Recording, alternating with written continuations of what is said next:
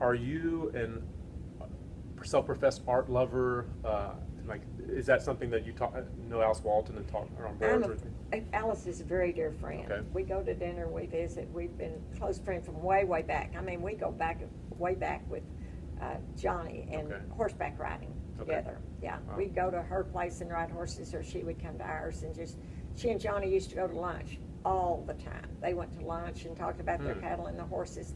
Now, I didn't go to lunch with them uh, during the week. Okay. Now, the weekends I'd be, could be with them, but on, during the week, I was too busy trying to collect money at JB Hunt Transport. Uh-huh. I didn't have time to go for Calling lunch. people about their I was trying to collect the money Yeah. and keep that place going while he had lunch with Alice. So we've had a lot of jokes about that.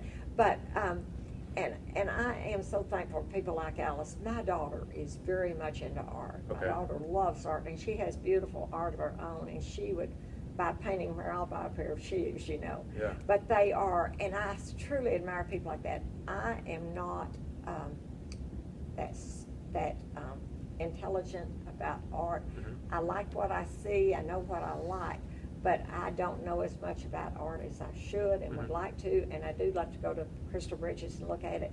But I feel like everybody plays their own part Mhm. in what they're doing. And so she did Crystal Bridges, which is fabulous. And then I did something like, uh, my children and I uh, built this, our new cemetery at Pinnacle Hills Mhm. Memorial Gardens. That was our gift to Northwest Arkansas. And of course, there's this much larger, but it's like, we, we all play different parts in what we do here. Hmm. Everybody plays different parts. Our football team draws the crowds for one thing and something else for another. So that's what's so good about this area is that we do all play different parts. And we all give so many different things to this. And uh, just like I think Pinnacle Hills Memorial Gardens is a big, um, a great thing for Northwest Arkansas because it's beautiful. Mhm. It's like gardens. We have a pretty chapel there. And it's for all people. Anyone can be buried in our cemetery. We do not exclude any Okay. anyone from it. And uh, so we felt like that that was something that we could do. If you have a couple more minutes, uh, a couple more questions. Mhm. Um, Tyson has a, a foundation. Wal- Walton family always has a foundation. Do you all have a foundation, or are there any? What's the calculation when it comes to creating a foundation? You know, that's just everyone for what they feel like is right, and we do not have a foundation. Right. We've never, we've talked about it, I've talked to the, my tax people about it, and we've talked about it. And it just hasn't been the thing that I've done yet. I won't say that I won't in the future, I don't know. But it's kind of like that, I just am the one that's involved in it. Okay. I'm the one that makes the decision. Of course, I talk to my children and all, but um, I'm the one that decides should we do this or should we not. And yet, the foundations, I really think that's great that they have them and they have get the best people they can to manage their foundations and they give so much and do so much.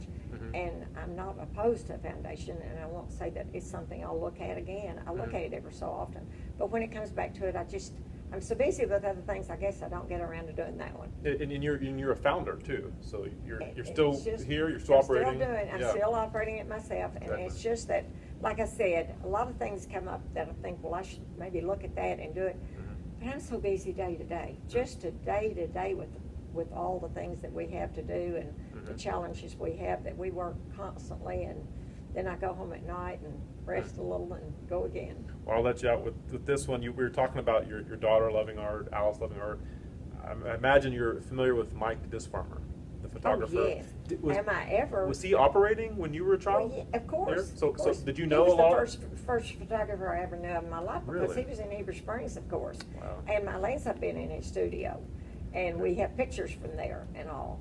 And um, have a picture of my sister. She was taking tap dancing lessons, and Wow. he took that. And I can see it just. I mean, it's just as vivid in my memory as what that place looked like. Huh. What his place looked like. It was very. Um, plain, you know, you can see from his pictures what it is.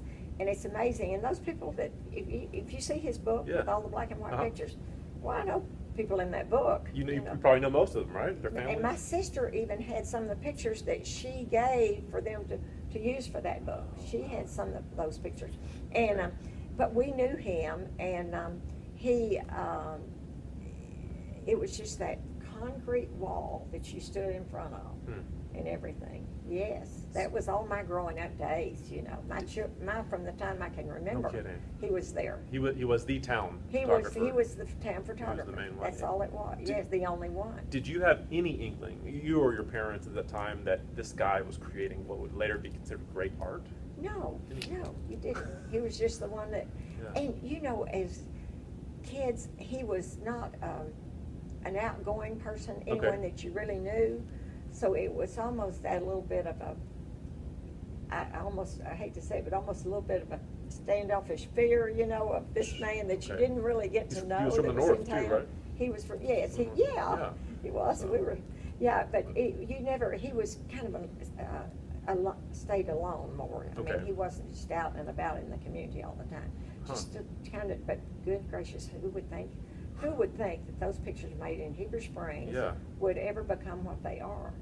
And and so you have a photo of yourself by Disfarmer? I don't, I don't know if I do. My sister does. My, Your there was my sister did, Okay. and I can remember going there and see. I don't know if I have one. If my mother had one of Oh, all yeah. of us there, Huh. but he was the only photographer we had forever. Yeah. For so long, you know, till I was older. So has, has there been any discussion of bringing some of his photos into the uh, Crystal Bridges or, or even into your office? I don't know. I've never even thought Never about thought about that. I've got the book. Okay.